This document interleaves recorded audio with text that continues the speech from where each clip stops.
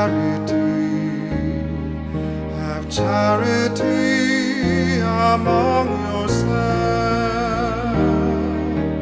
and be filled with burning zeal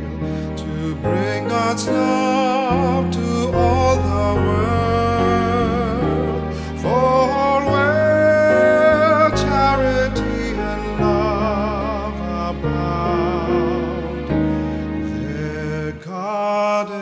is.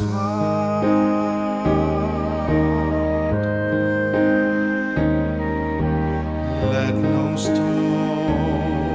remain unturned, no effort left untried to proclaim Christ crucified, who came that we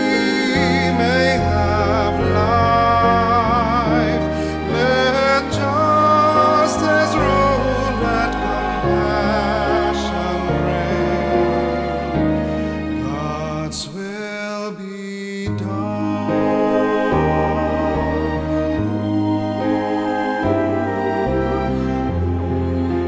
spirit of the Lord is upon me, for He has anointed me to bring glad tidings to